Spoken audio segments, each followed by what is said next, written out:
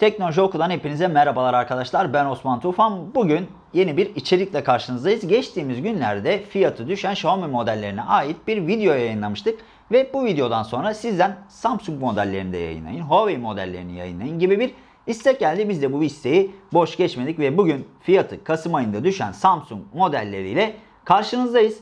Modellere geçmeden önce birkaç ufak not belirtmek istiyorum sizlere. Sonuçta biz bunları internetten tarıyoruz arkadaşlar. Dolayısıyla daha düşük fiyatlar da olabilir. Belki bizim gözümüzden kaçmıştır. Bu tarz olaylarla karşılaşabilirsiniz. Eğer siz daha düşük bir fiyatını gördüyseniz atıyorum A51 şu anda tamamen salladım. A51'i bizim verdiğimiz fiyattan daha düşük bir fiyata bulduysanız onu bize yorumlarda belirtebilirsiniz arkadaşlar. Hatta nerede bulduğunuzu da link olarak verirsiniz. Böylece diğer arkadaşlar da faydalanmış olurlar.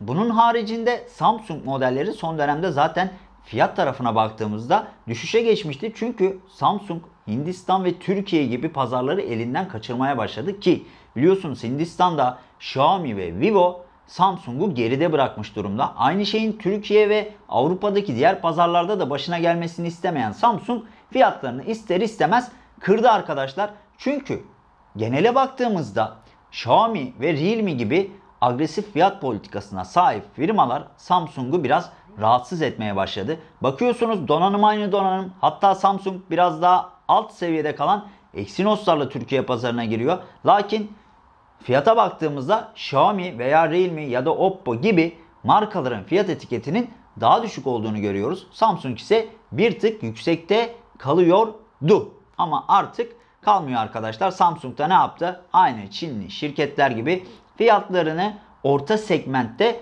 aşağıya çekmeye başladı. Ayrıyetten uygun fiyat skalasına sahip model sayısını da arttırdı. Örneğin geçtiğimiz yıllarda A serisi ön plandaydı. Fakat şimdi bakıyoruz ki M12, işte M20 bu tarz modeller de geliyor ki bunların fiyatları gerçekten ciddi anlamda düşük. Eğer ülkemizdeki böyle aşırı vergiden etkilenmezlerse 2000 Türk Lirası civarlarında Türkiye'de satışa sunulmasını bekliyoruz biz bu cihazlarında arkadaşlar.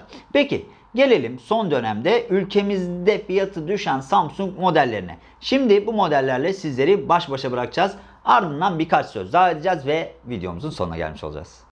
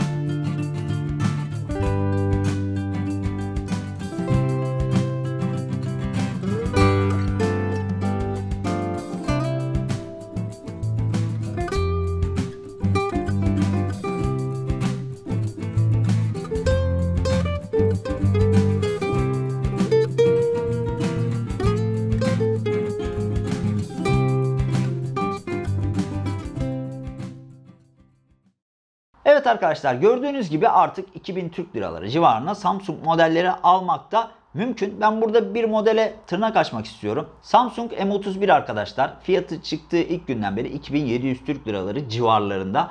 Dolayısıyla bu model gerçekten kullanışlı bir cihaz. Onunla birlikte çıkan hemen hemen A51'in fiyatı 2550 liraydı. Fakat şu anda 3200-3300 lira seviyelerine çıkmış durumda.